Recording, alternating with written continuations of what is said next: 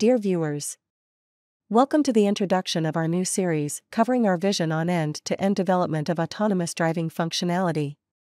What do we mean by end to end? Within this series, we will cover different aspects from design of the self driving feature to verification and validation on the vehicle. We will especially address challenges along the journey to the software defined vehicle. The audience we are addressing with this series are technical people, but also managers working in the area of autonomous driving or in more general people who are part of the transformation of the automotive industry towards the software defined vehicle. Since most topics we show will also be applicable to other vehicle domains or any software developed for the software defined vehicle. Let's start with the why question so, why are we doing this demo at all? Since we as Luxoft offer services to our customers helping them achieve their goals, most of the topics we work on in our projects is intellectual property of our client and we cannot show the cool things we contributed to public. Therefore, the main goal of this demo is to have a tangible demo to be able to present our capabilities and our vision on how to address and solve the challenges within the software defined vehicle transformation. We will use an autonomous driving use case for the demo. But as mentioned, most of the things will be applicable for all vehicle domains, only a few topics will be specific to self driving vehicles. In addition, it was important to us to address the holistic end to end view, covering the whole life cycle from the requirements to the software on the series vehicles, considering the change from the traditional approach of developing in vehicle software to reusable, maintainable, and updatable software functionality for software defined vehicle. Unfortunately, we also do not have a silver bullet to easily solve all the challenges. However, within the individual deep dives in our series, we will address from our point of view important challenges to solve within the transformation, and we will present possible solutions. As always, many ways lead to Rome, and the best way for you might not be the one we will present, but we still think it will be fruitful input for deciding on your way. Let me talk about what I will cover now in this introduction. Since the topic itself is quite complex and it is very difficult to get a mutual understanding on the exact challenge and solution for each of the deep dives, we use the method of an underground map to align on the scope on a high level. In all deep dives, we will use this map to give you an insight on the content of the deep dive in the beginning. We hope it will help you judge if the topic is of interest for you and avoid wasting your time.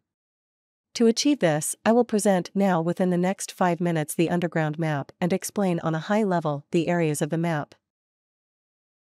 Let's directly jump into the map. Don't get overwhelmed by the complete map, I will now introduce the high level areas. For those of you who are familiar with automotive SPICE processes and the V model, you can identify that the map somehow reflects the V model, covering the development processes on the left side of the V and the verification and validation processes on the right side of the V. Within the left side of the V, we will cover the design and implementation of the function. We divide the software implementation into the three technologies typically used to implement embedded software for vehicles. C++, model-based design code generation and training of AI models. These underground lanes are extended to the bottom to give some examples for self-driving car modules typically developed with these technologies. Even though we support our customers developing level 2 plus and level 3 autonomous driving features by providing services to create the intellectual property of our clients, in the demo, we will focus on the overall end-to-end process, rather than on showing the most sophisticated autonomous driving feature. On the right side of the V, we will cover software and system testing aspects with the main intent to do as much testing as possible in software. Often the target hardware is not defined at the beginning of a project and thinking of reuse for future vehicle series, the software needs to be designed as independent as possible from the hardware. On the left side of the map, you can find the open loop and the closed loop processes used to verify and validate autonomous driving features. The open loop process is based on data recorded with a real vehicle during test drives, which afterwards is processed within software in the loop tests and often is referred to as resimulation. The closed loop process is based on a 3D simulation using sensor models to calculate the sensor outputs. The software can now send back signals to the actuation of the virtual ego vehicle. Compared to the open loop process, a change in the software, which leads to a change of the vehicle trajectory, will lead to new sensor outputs according to the new trajectory. Descriptive scenarios related to the driver assistance or automated driving features are basis for open and closed loop tests of self driving cars. To prove proper functionality of the self driving car features after changes, test cases referenced to these scenarios need to be executed on a regular basis. These tests require huge amount of data and scaled compute power to be executed within a reasonable timeframe. This is one reason why you need a good data management to ensure availability of your input data and proper storage and traceability of your results. In every automotive project, you need to follow mandatory standards like automotive SPICE, functional safety, safety of the intended functionality or cybersecurity, and also implement project methods for collaboration and to ensure legal regulations related to information security and data privacy for all participants in the project. Like in all projects, also the demo and this map might be subject of change in the future as we will also gain new knowledge over time. One remark related to the tooling we will use for the demo. Luxoft itself is neither a product company nor a tool vendor.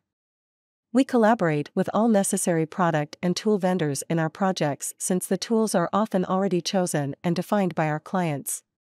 We obviously needed to choose some tools to demonstrate, but the solutions itself can be implemented with various kind of tools not shown in the demo. I hope this introduction was helpful to understand on a high level the topics we are going to cover in future. If you like the video, leave us a like below.